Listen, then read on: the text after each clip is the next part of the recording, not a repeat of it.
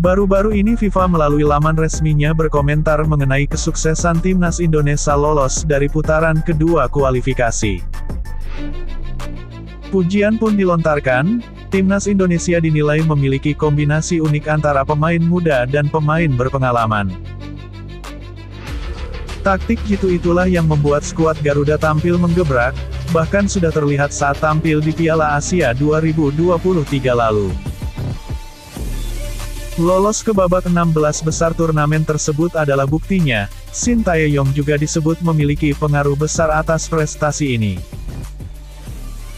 FIFA pun juga memberi pujian untuk para pemain timnas Indonesia, khususnya talenta-talenta muda yang cemerlang saat ini. Kali ini timnas Indonesia terbukti tidak peduli dengan apa yang media anggap sebagai kekuatan mereka, tulis FIFA. Timnas Indonesia memiliki kombinasi unik antara pemain muda dan berpengalaman, dengan hadirnya pemain-pemain muda bertalenta.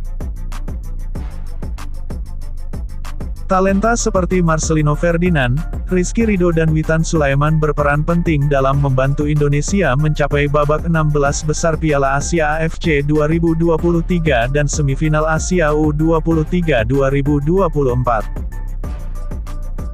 Mereka energi tambahan seiring dengan pemain kaya pengalaman seperti Jordi Amat, Tom Haye, dan Sandy Walsh, imbuh mereka. Sementara itu meningkatnya kualitas timnas Indonesia juga tak lepas dari peran Shin Tae-yong, FIFA memujinya sebagai pelatih dengan kemampuan taktis dan pendekatan yang keren.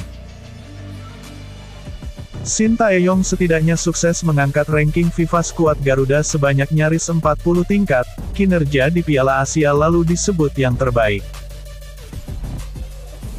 Di bangku cadangan, pelatih Shin Taeyong juga memberikan pengaruh yang tak terhapuskan bagi bangsa sejak pengangkatannya pada tahun 2020, tulis FIFA lagi. Kemampuan taktis dan pendekatannya yang keren telah membantu tim. Sepak bolanya telah meningkat hampir 40 peringkat di peringkat FIFA. Kinerja di Piala Asia 2023 adalah yang terbaik hingga saat ini, imbuh mereka. Publik Vietnam yang melihat pujian FIFA untuk timnas Indonesia dan Shin Tae-yong di atas hanya bisa memberikan nyinyiran. Tetao 247 mengakui timnas Indonesia baru saja mencatat pencapaian luar biasa, namun kesialan juga menimpa skuad Garuda di saat yang sama. Yakni, masuk ke grup maut putaran ketiga kualifikasi Piala Dunia 2026, bersama Jepang, Australia, Arab Saudi, Bahrain dan China. Media Vietnam ini menilai timnas Indonesia sebagai tim yang dianggap terlemah di putaran ketiga kualifikasi Piala Dunia 2026. Dengan pencapaian luar biasa baru-baru ini, FIFA memberikan pujian khusus untuk timnas Indonesia lewat sebuah artikel, tulis Tetao 247. VN Sayangnya, Timnas Indonesia terjerumus ke grup sulit di putaran ketiga kualifikasi Piala Dunia 2026, bahkan disebut grup maut.